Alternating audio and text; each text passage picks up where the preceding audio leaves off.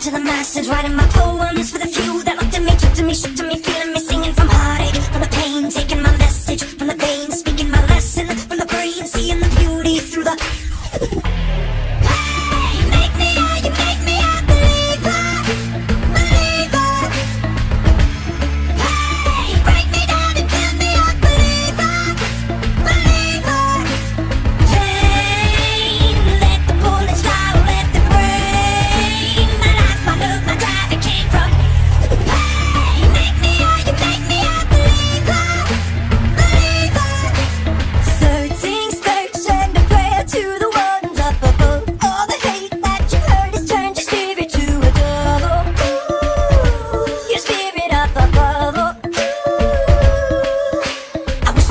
in the crowd, living my brain up in the